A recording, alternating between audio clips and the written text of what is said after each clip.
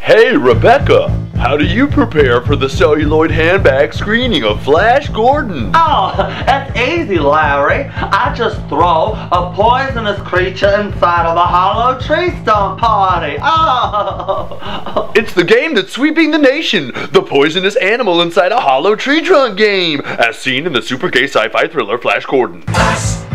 What do you do? Well, Larry, I invite two of my favorite friends, Sharon Tate from Valley of the Dolls and Miss Bette Davis from All About Eve. oh, it's a party.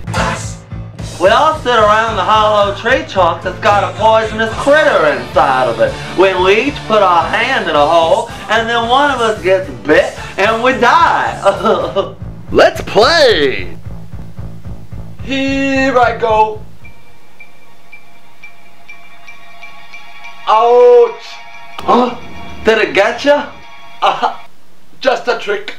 I'm fooling you. Your turn, Rebecca.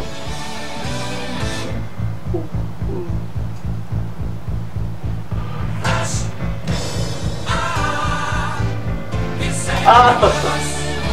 yeah. Now you, Sharon. You mean you want me to put my hand inside this filthy hole? Do it. I'll do it for Tony.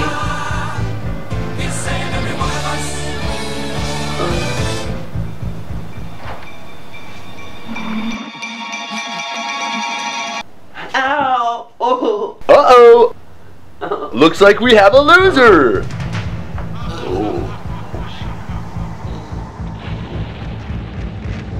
I win. I'm telling you, Larry, there's no better way to prepare for Flash Gordon than inviting your girlfriends over for some hollow tree trunk poisonous animal games. Oh. Get your poisonous animal inside a hollow tree trunk game today.